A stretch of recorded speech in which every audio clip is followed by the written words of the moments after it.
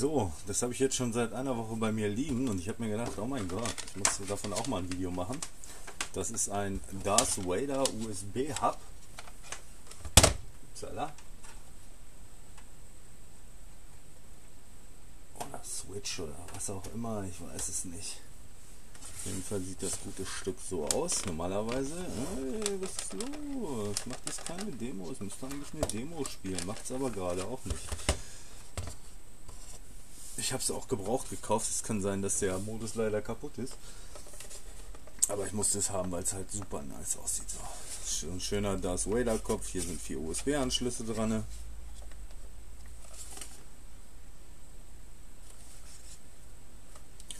Ja, das war's auch schon.